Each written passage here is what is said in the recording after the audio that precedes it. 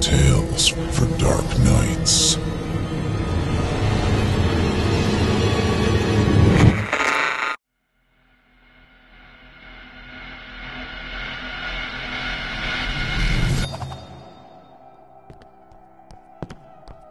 All right, Archibald. You have the list. Uh, call me Archie. Uh, uh, yeah, check. Right. And Archibald, you know not to leave the castle unlocked at night, right? Call me Archie. Oh yeah, I I got it.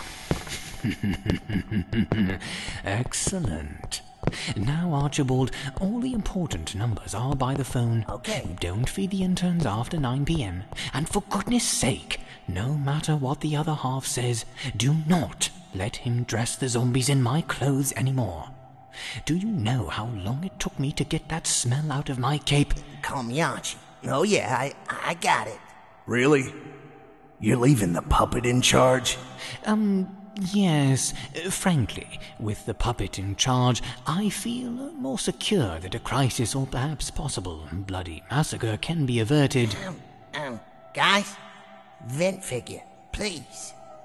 Must the struggles of us not people go unrecognized? Hmm. Okay, you gents have a wonderful time while I'm away. Bye bye, Jim. bye bye. Bye. Great. Now that he's gone, we can play. Oh, God. Here we go.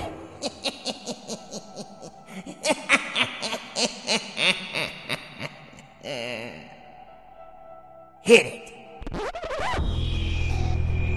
Come on, come on to our matinee of madness and partake in this theater of the mind. Welcome to the Simply Scary Podcast, Season 1, Episode 16. I'm your temporary master of ceremonies, Archibald Carlyle.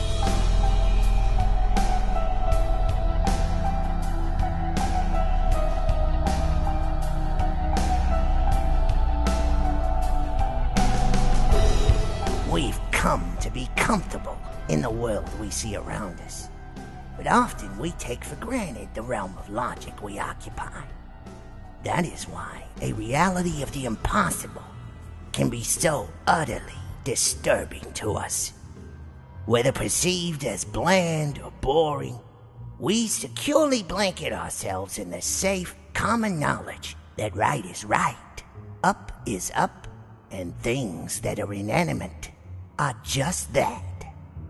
But not in my world. Join me, won't you, as we reveal the unimaginable landscape of Twisted Worlds. Hey, other half, you want to do the honest? Sure thing, Archie. Um, folks, just a word to the warning. This episode will be a bit more twisted than usual and may not be appropriate for younger listeners. So, we will give you the obligatory count of three to clear the little crumb crunchers out of the room. Ready? One, two, three. You have been warned. It's all yours, buddy. And now, let us experience our first signpost of the surreal. Never has the land of make believe been so horrifying as in our first endeavor. We take you to somewhere between a nightmare and a bad dose of cough syrup as a young girl struggles to overcome a dark force that stalks her relentlessly through an endless sea of terrors. But what may be more frightening is what that dark force has unwittingly released. Jason Hill performs S. Boyd Taylor's Teddy Bears and Tea Parties.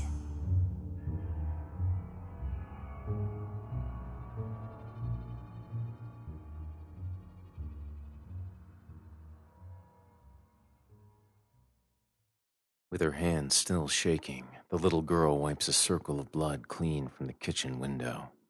Her pinky is missing, still bleeding where it's been cut off. She knows he's out there, watching.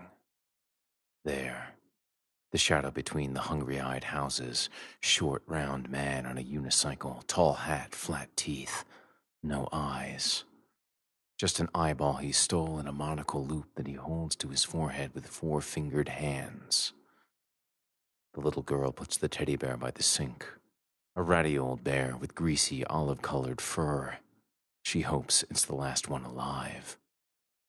Dead teddy bears fill the kitchen counters beside her, each killed in different ways.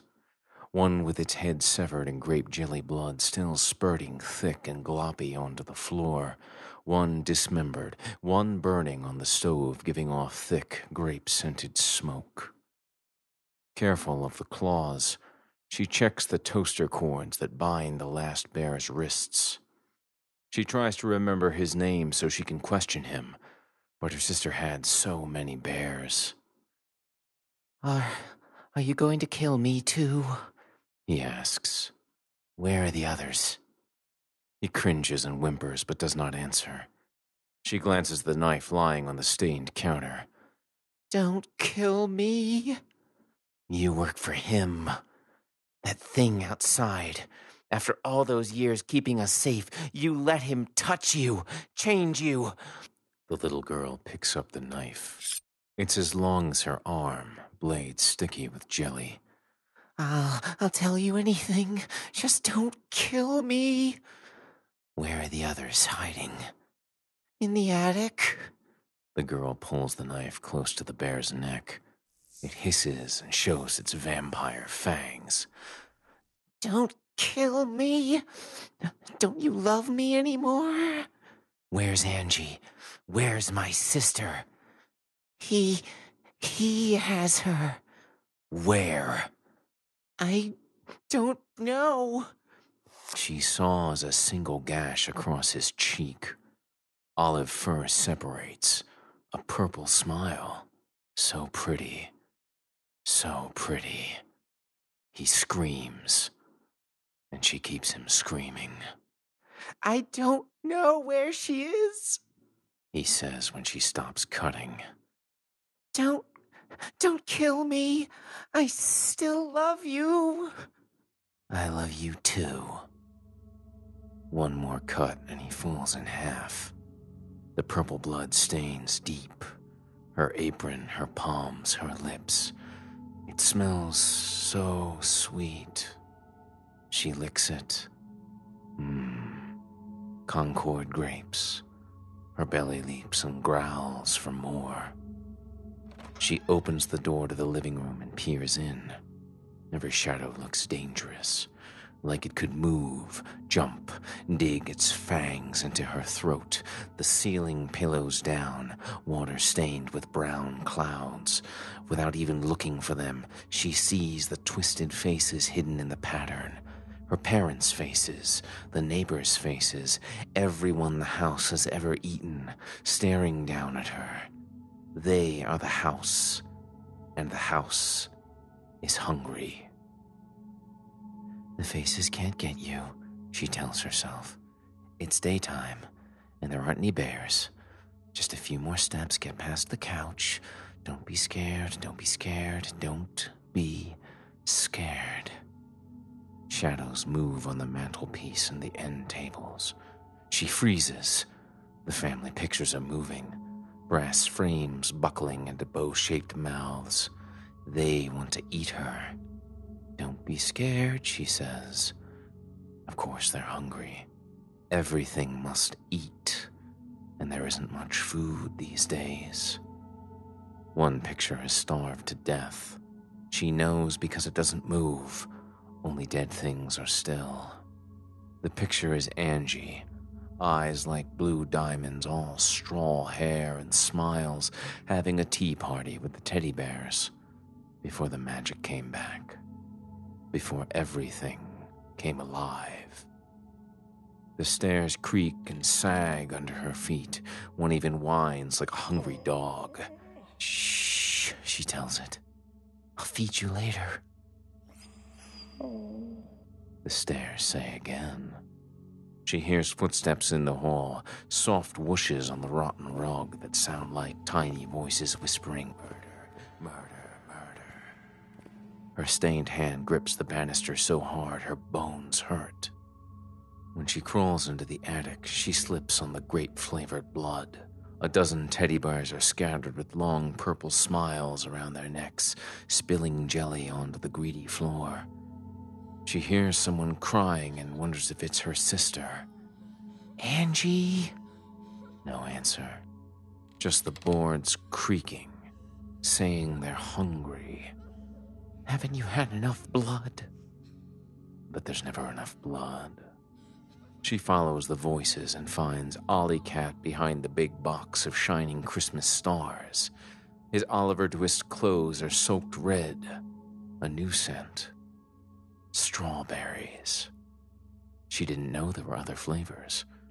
Her belly reaches out toward the plush cat.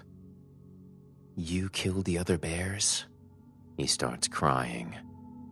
We were so afraid of you of what you would of what you would do. We didn't want to suffer. They they asked me to kill them. She stares.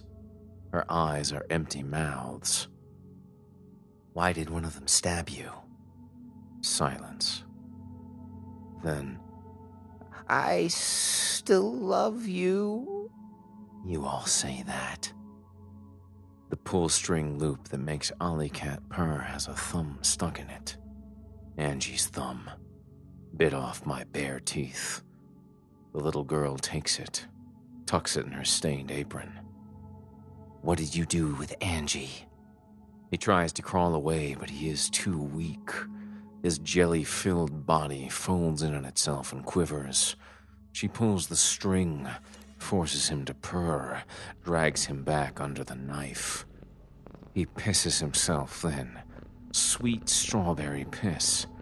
She thinks of Angie, straw hair and smiles. Then she thinks of the thumb. I'm going to make you hurt. A lot. Okay? Uh, okay. He whimpers. She loves strawberries.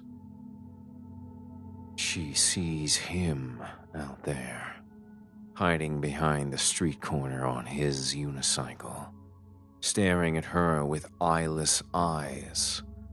She moves from window to window, but he is always there. She knows he has her sister, he has Angie, but the little girl is too scared to face him.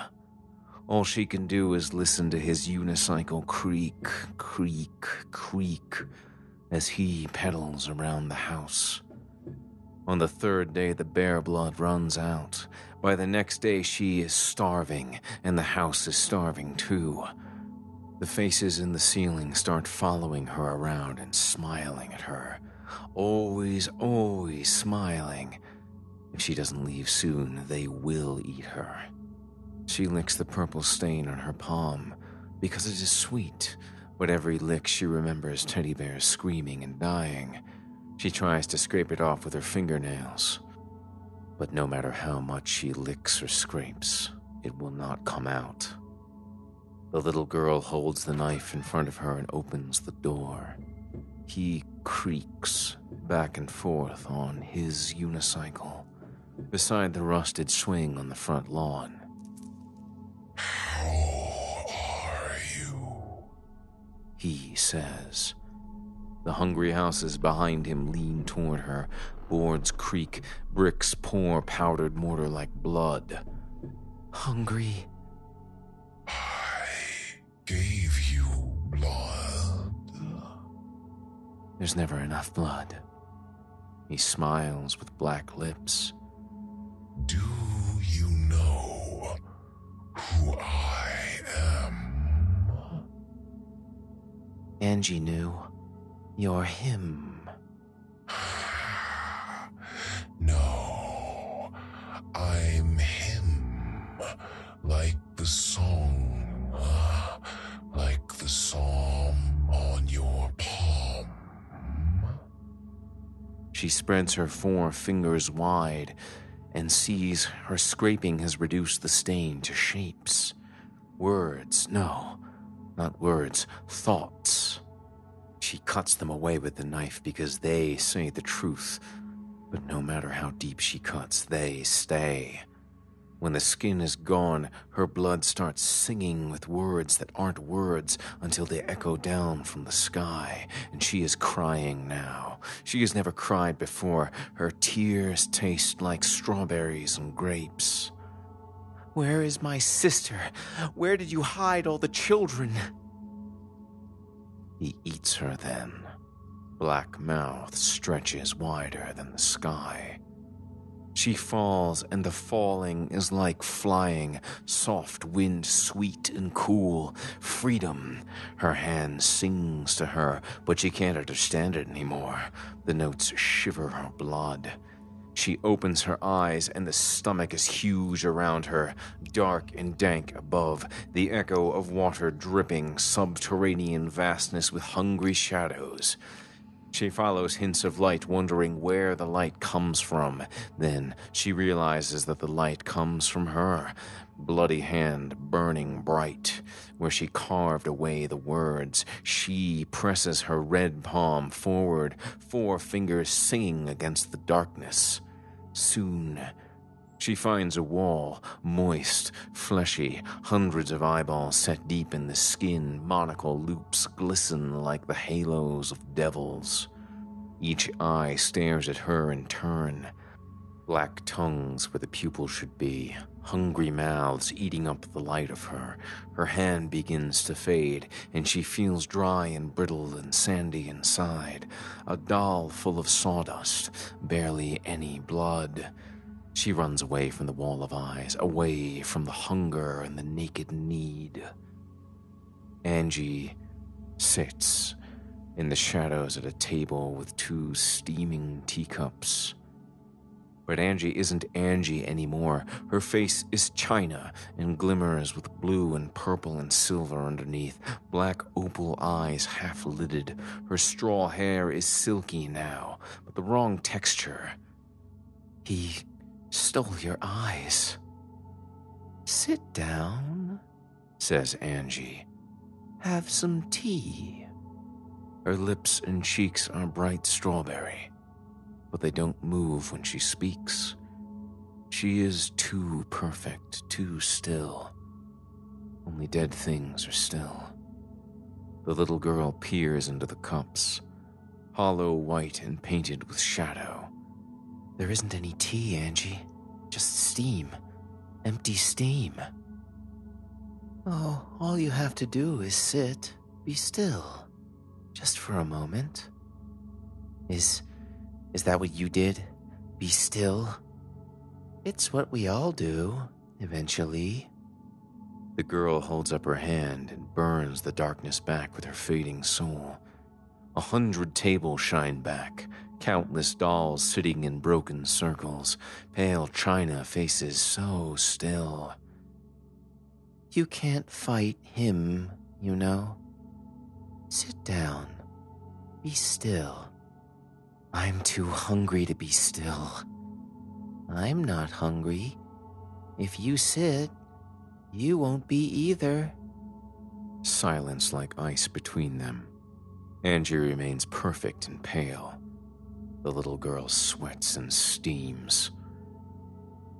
Do you have my thumb?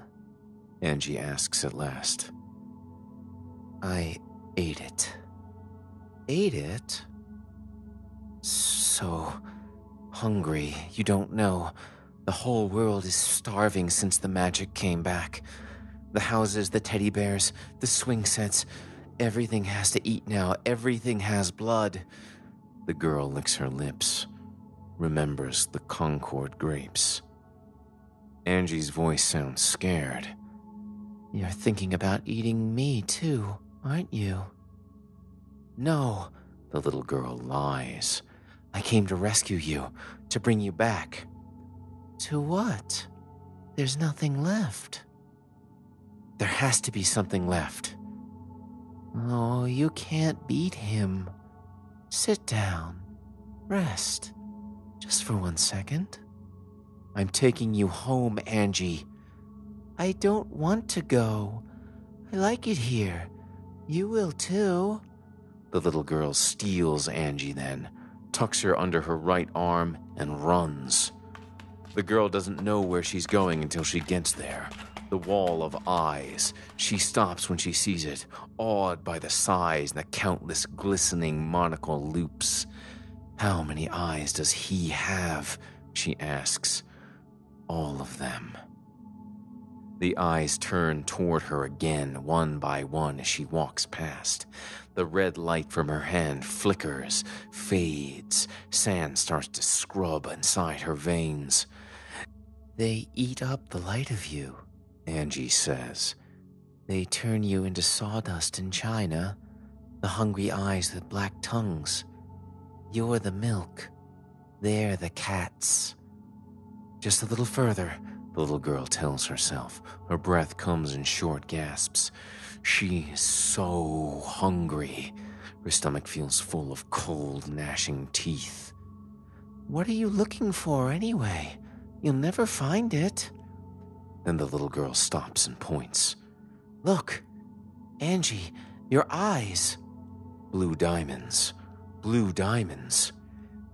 She sets Angie down and pulls the knife from her apron, the blade a slice of fire in the shadows.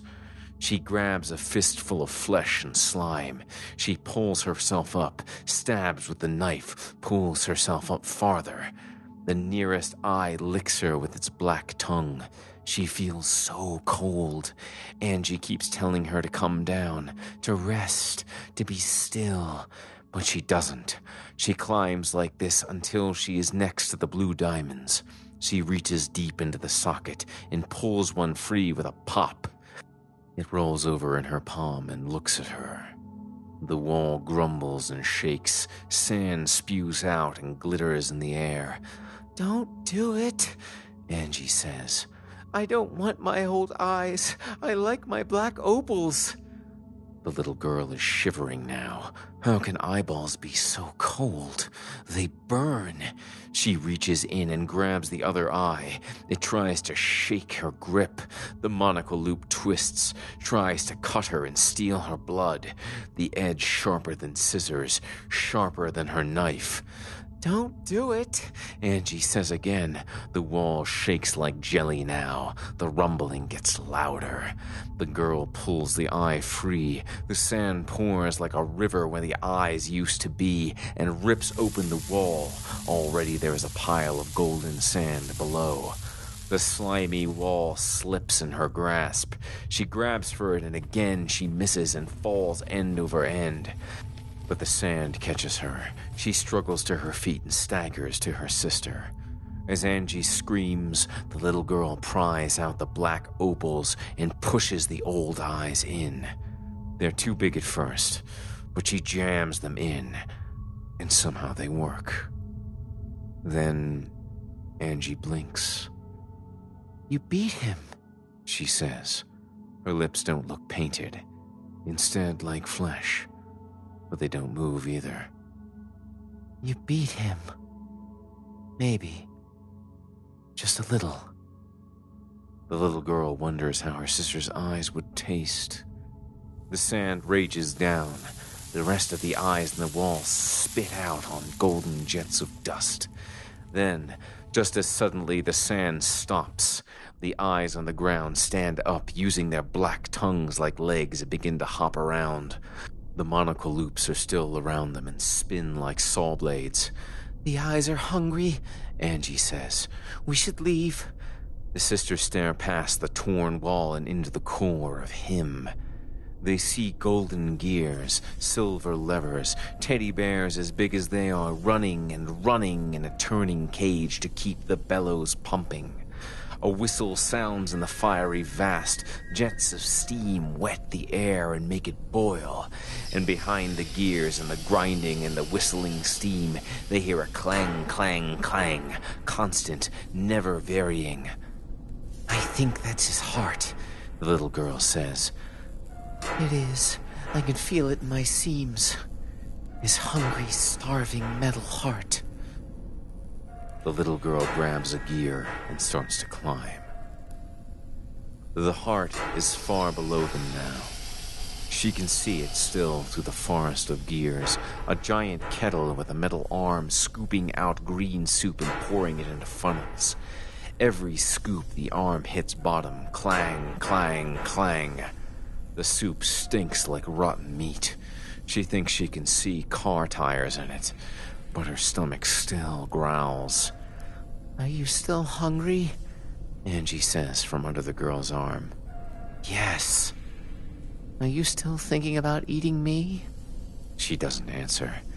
She kicks a gear instead, hoping to hurt him, but the gear doesn't budge. Then she hears a new sound, like a screen door slamming. She sees teddy bears climbing toward her. He sent the bears loose. Run! She kills the first bear near Him's skull, cuts its hand off, then stabs it in the heart. The body falls with the knife still wedged in it tight and bounces gear to gear until it hits a catwalk. Splat, a smear of thick green jelly. No fair. He was Apple. Apple's my favorite, Angie says. And I'm hungry too. The little girl stashes the hand in her apron. We'll eat it later, she says. She licks her fingers clean before she climbs and tries not to worry about how she will kill the other bears without a knife.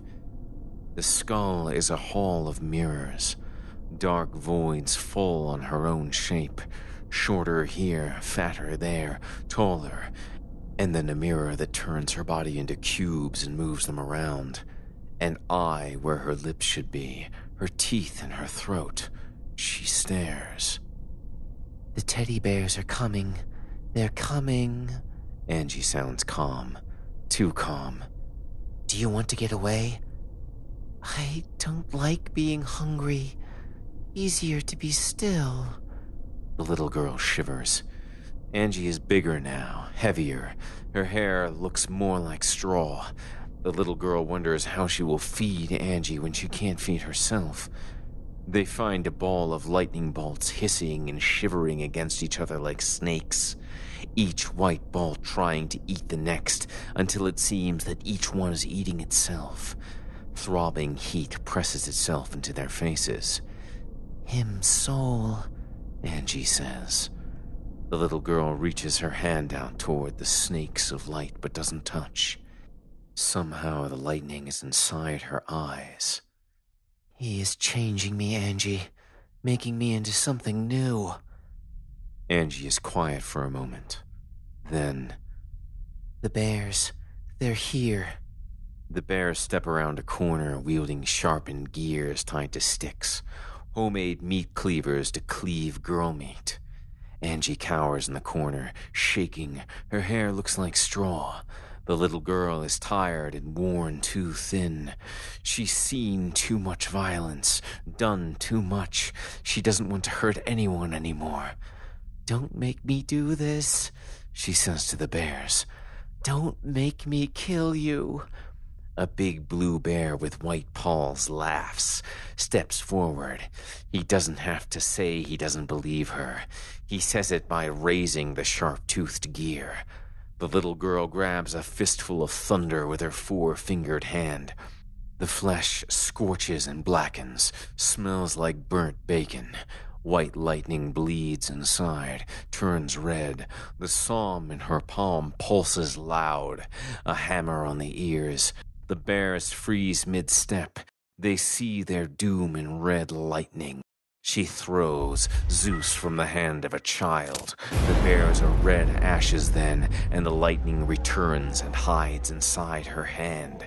Him's skull unfolds outward like paper, white bone origami undone, smoke, the scent of cheesecake. Two blocks ruined, houses smoking voids. The swing set charred so it can only limp along on one rusted leg doll bodies scattered everywhere, slowly changing to flesh. But him is still, still and dead. All the many pieces of him strewn and smoking and unmoving. but the little girl can feel her hand tingle, sees the sparks. Because they are starving, she and Angie eat the apple flavored hand. The girl starts at the pinky, Angie at the thumb. One by one, the stolen children awake, some with their own eyes, some with black opals still, and the two sisters tell them Don't sit on the swing set, and don't trust your friends, and feed any house before you go in. The world is alive since the magic came back, and children are small and make a good snack, and everything tricks and everything cheats, and everything, Everything. Everything. Eats.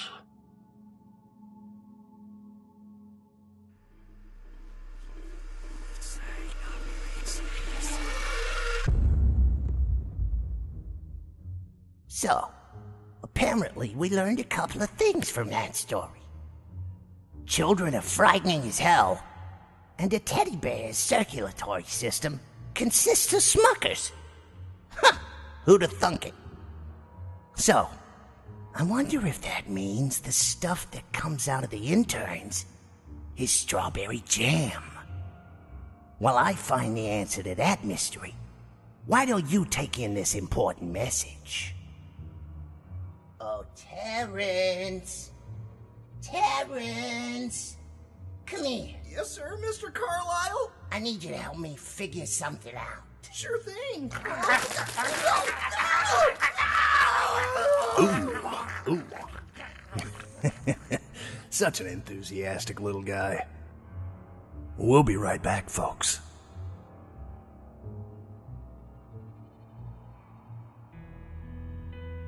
This is Jason Hill. If you enjoy my readings on this episode of the Simply Scary podcast, please check out my expanding library of horror narration and original artwork on the Jason Hill YouTube channel. Thank you.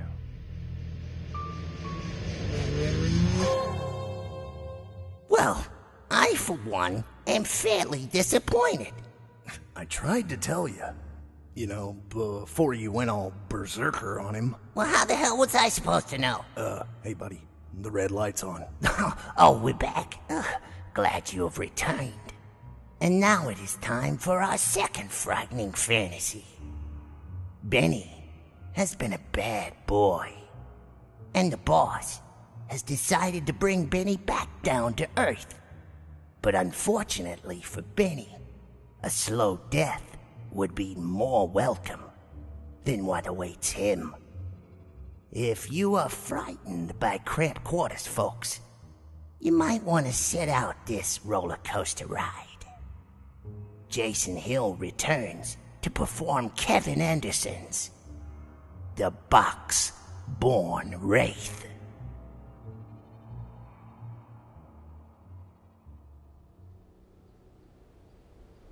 Not like this, Chow, Benny pleaded. Just shoot me, please! Chow shook his head. You know I can't, Ben. The boss was very specific.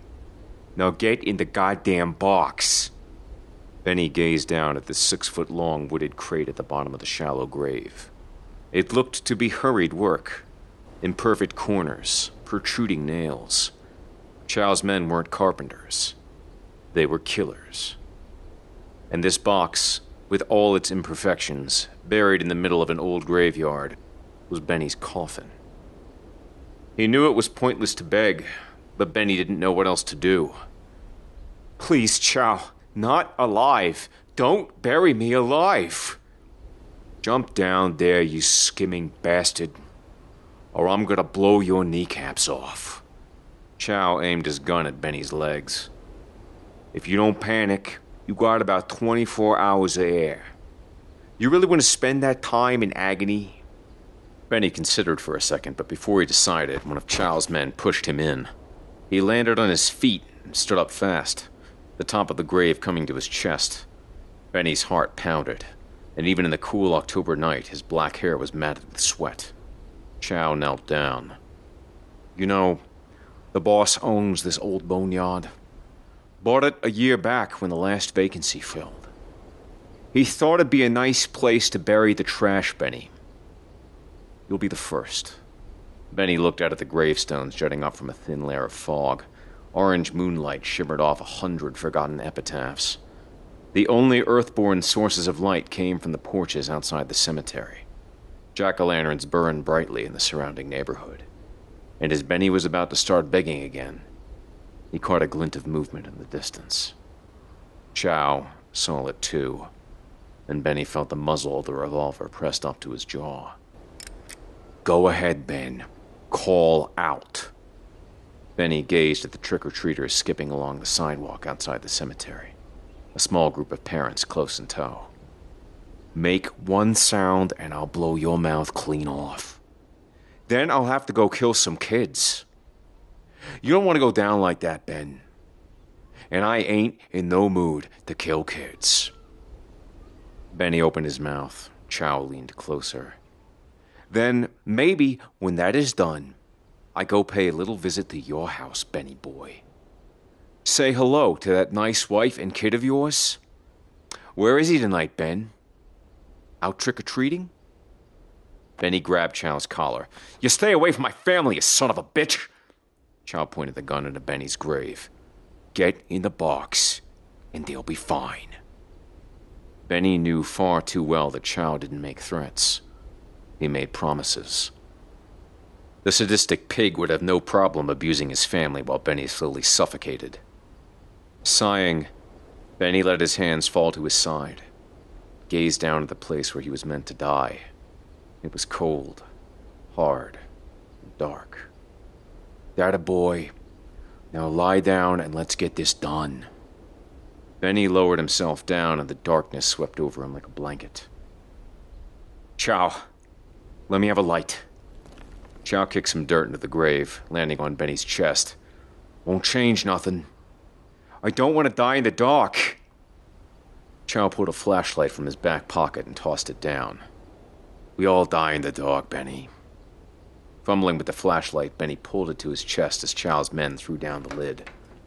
One of them jumped in the hole to hammer in the nails. Benny placed his hands on the lid as it was slid into place. Then he lifted his head and peered through the cracks. Chow stood, holstered his gun, and turned to go. Hey, Chow! Benny called. Yeah? Benny clenched his teeth. If I ever see you again. Chow smiled. You won't. Benny closed his eyes as the first nail was put in place. He managed to make it through the hammering okay, staying calm, retreating into thoughts of his wife and son. But when the dirt started to fall in loud clumps, Benny started to lose control. His body shook, and he started pounding, then clawing at the lid. Wooded shards broke loose and stabbed the tender skin under his nails. Blood ran down his fingers as the sound of falling dirt became distant, replaced by the creaking of wood making up his coffin. He placed his hands flat on the lid, realizing that it was bowing inward from the weight of the dirt. For some reason, he started to laugh, thinking that the lid might implode and crush him. But after a few still moments, Benny realized he wasn't going to be that lucky. The smell of earth, sweat, and freshly cut wood filled his nostrils as he tried to take slow breaths. With no place to go, the sounds of his breathing bounce around the box like a trapped bat, amplifying his panic, feeding his dread. Benny tried to occupy his mind and not think about his itching neck or his aching legs. He desperately wanted to bend his knees, just for a few seconds, and the fact that he couldn't was maddening. He pounded the lid with his fists and screamed, then he heard the faint sounds of someone sobbing. And as he pressed his forehead at the top of the box, he realized the sobbing was his. His echoing cries continued for twenty minutes. Then, energy spent, he passed out. He awoke with a jolt, trying to sit up and smacked his head on the unforgiving wood. An instant reminder that the nightmare of being buried alive hadn't been a nightmare at all. He moved the light so he could see his watch. Just past midnight. He'd been buried for four hours. Twenty hours to go, he thought. I can do this. I can do this. Just make it through the next 20 hours without losing my mind. And And. And, and, and, and, and, and, and. A distant sound seized his attention. Benny held his breath, straining to hear it again. He pressed his ear to the lid, and there it was again. A faint, digging sound. Someone was digging. I'm in. he tried to call out, but his previous screams had strained his voice. It had to be Chow digging him up, Benny thought. Maybe the boss just wanted to teach him a lesson. Hmm, seemed a bit extreme, but the digging got closer. Or maybe it was teenagers out on a dare, digging up a fresh grave. yeah, that might be it. It's the kind of Halloween stunt he'd have pulled as a kid. Right? Benny pounded on the lid again. Here! I, I'm in here! But even before the echo of his voice had faded, he noticed something very, very wrong with the sound of the dirt being moved. It was getting closer, more hurried, and it seemed only a few feet away. But the closer it got, the more wrong it seemed. It wasn't until Benny turned his head and pressed an ear at the bottom of the box he realized what it was. The digging wasn't coming from above, it was coming from below. Oh, Jesus, Benny cried, gripping the flashlight, shining its beam around the box. He could feel dirt fall away beneath him, the bottom of the box sagging downward, hanging over a black hole in the earth. Something scraped on the bottom and Benny jumped. He squirmed, trying to roll to his side, but before he could, something clawed its way down the length of the coffin. Benny froze, taking a deep breath. He turned his head to the side, aiming the light into the widest seam in the box. The beam bounced off a dirt wall a few feet away, and he saw deep claw marks in its surface. He could hear movement outside, accompanying his panicked breathing, but every time he chased it down with his flashlight, there was nothing. Then, like earthworms caressing his skin, he felt warm air on the back of his neck.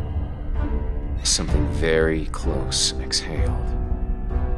Pulse pounding, he whirled around, eyes wide. He was terrified to see something from outside glaring in. Large white eyes with thick eyelids of pale skin blinked, and then narrowed curiously.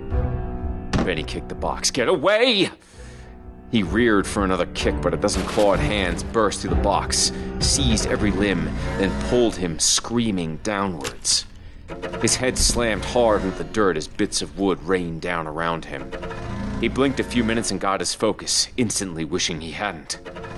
A dozen golf ball sized eyes set inside hideous faces surrounded him.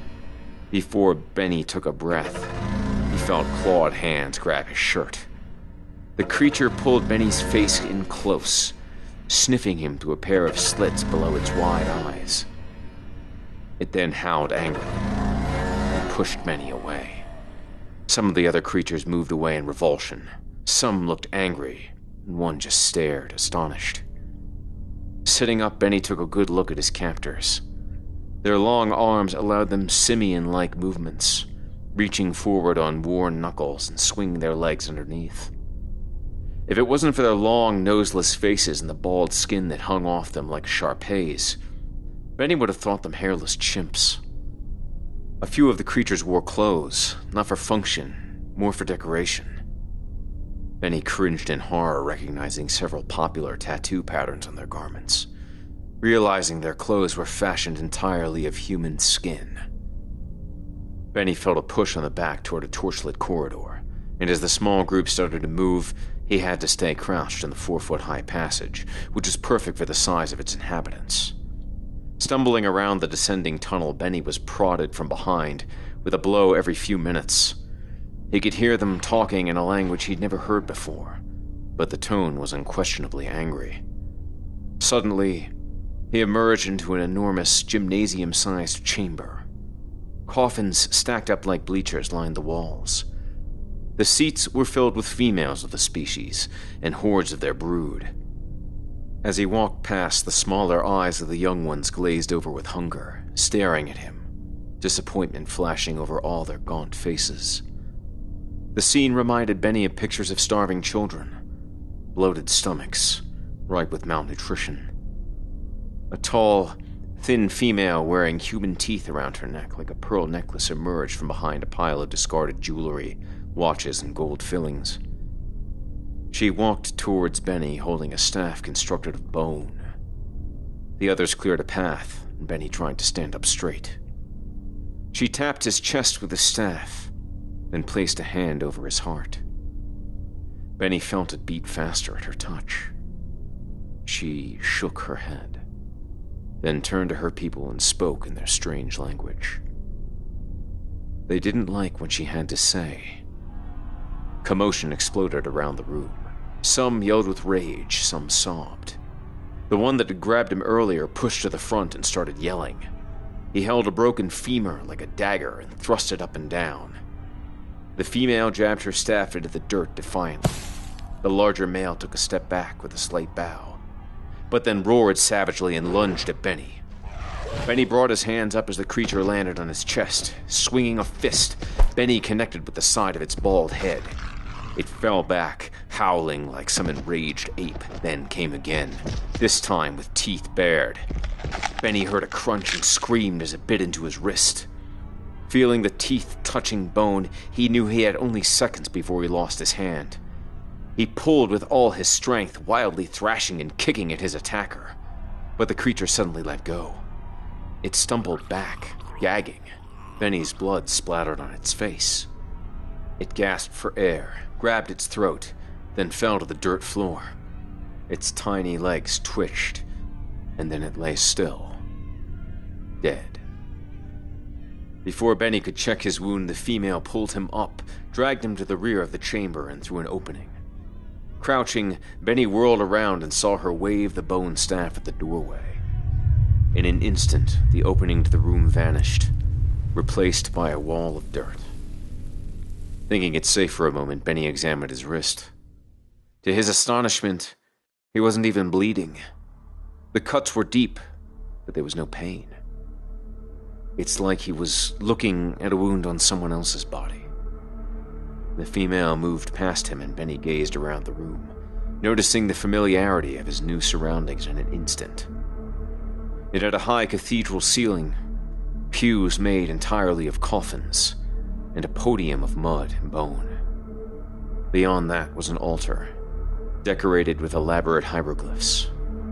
The creatures were depicted here carrying coffins, worshipping them, and feasting on their contents. Life, The female said. the boxes are life. Benny's head was spinning. He started to understand. A word floated around in his mind, for a few moments seemingly searching for some sane place to land. When sanity seemed unavailable, he finally just said it. Ghouls! Boxes empty. So long. She said, her speech labored as if struggling for every syllable. Then you. You eat the dead to live. Benny said, more to himself than to his savior. Remembering what happened to the one that had just bit him, he knew why they couldn't consume him alive. Living blood was poisonous. Why don't you just kill me and eat me after? He said. I mean, you're ghouls, right? She thrust the staff past the altar toward a mud statue of a female, arms spread wide, reaching for the surface. No, her mother forbids it. Must not make dead. No kill. Forbidden. Mother forbids, Benny repeated. Well, don't that beat all? The ghouls got religion. He looked into her huge eyes as an idea erupted in his mind. You know, I think you and I can work this out. Benny pointed up. You send me up there, and I'll fill your boxes for you. Man, oh man. I fill your boxes? Benny saw the female smile. A yellowed, jagged toothed grin, and he knew she understood. Not much later, Benny clawed his way out of the ground through a narrow hole in the earth the female ghoul had created with a thrust from her bone staff. Flopping around in the cemetery grass, he took a deep breath of air, the cold night invigorating every muscle in his body. He rolled over and looked at his wound. It still didn't hurt. He'd almost forgotten about it. The tears in the flesh seemed only scratches now. And beneath, he could feel his muscles pulse with energy he'd never felt before. There was a tingle on his scalp, and he ran his fingers through his hair. Thick, black strands fell away. He looked at the clumps in his hands, sighing. Small price to pay, he said with a grin. Benny took a deep breath, then jumped to his feet with simian grace. He felt strong very hungry and ready to make good on a promise. He didn't know what he was becoming, but he did know that Chow would be the first to find out.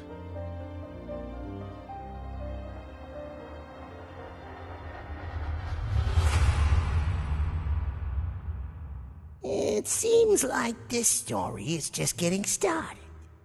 What's in store for those that left Benny to die? Well, it looks like you'll have to fill in that ending for yourselves. At least for the time being. When we return, we'll finish the ending to the story of this episode.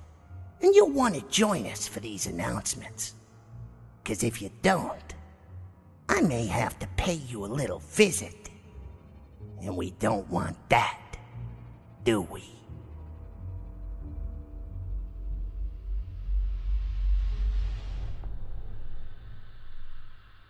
If you are enjoying this episode's stories, be sure to visit simplyscarypodcast.com and from the homepage, click on About, then Authors to learn more about the unique worlds created by S. Boyd Taylor and Kevin Anderson, the authors of tonight's chilling experiences.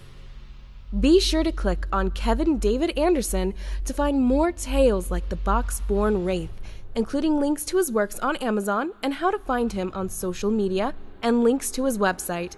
And now, back to the Simply Scary podcast.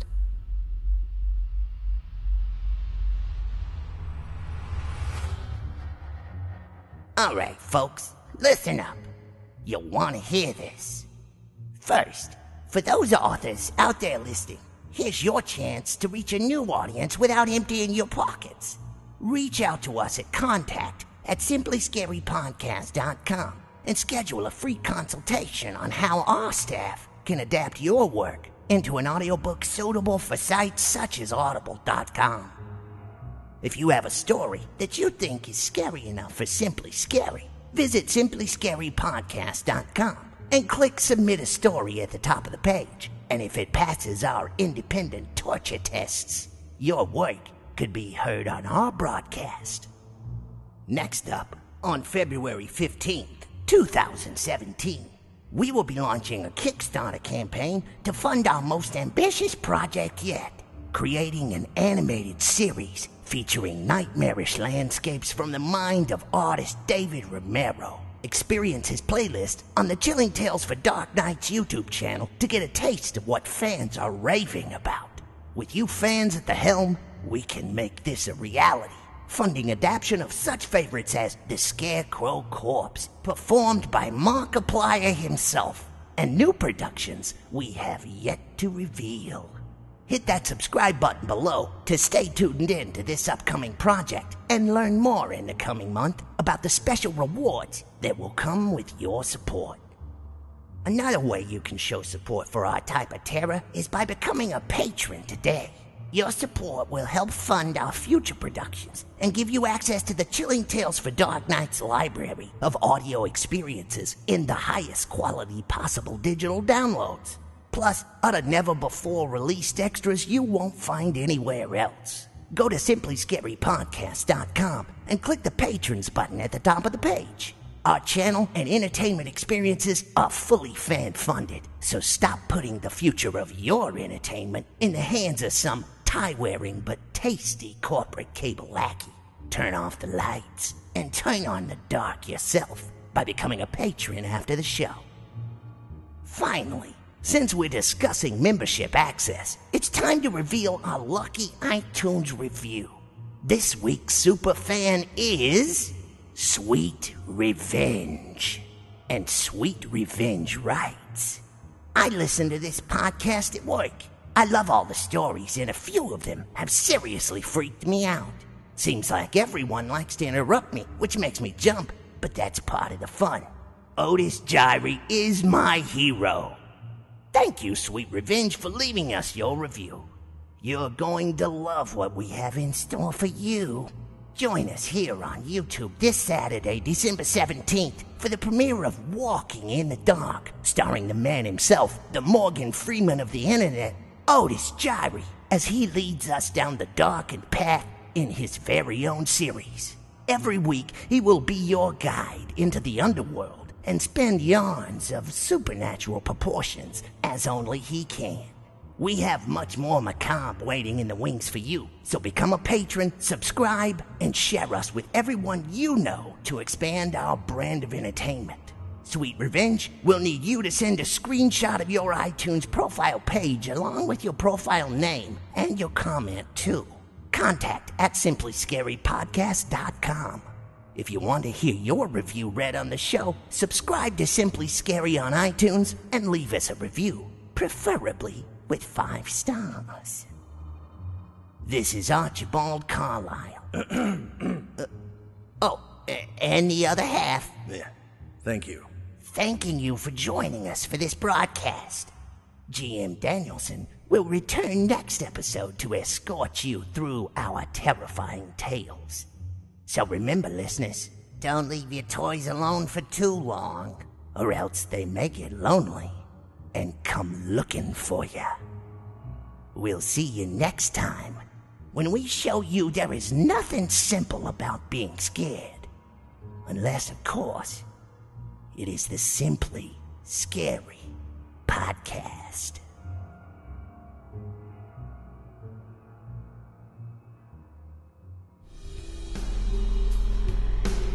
This is executive producer Jesse Cornett. If you like what you hear, be sure to check out more from these authors at simplyscarypodcast.com. There you can find all information regarding the show and the stories appearing here in our podcast. The Simply Scary podcast is a production of Chilling Entertainment. The showcase is written by Jesse Cornett and Dustin Kosky and produced by Jesse Cornett. The host of the Simply Scary podcast is GM Danielson. Original music during the show by Jesse Cornett. This broadcast was directed and created by Craig Groshek. Be sure to look for the Simply Scary podcast on iTunes. And if you like the show, leave us a five star review. Comments or questions? Email us at contact at simplyscarypodcast.com and check our website for more information. While you're there, consider clicking on the patrons link at the top of the page to help support our show. Copyright Chilling Entertainment LLC 2016. Thanks for listening.